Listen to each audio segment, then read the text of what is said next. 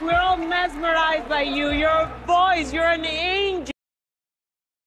Feeling the same thing.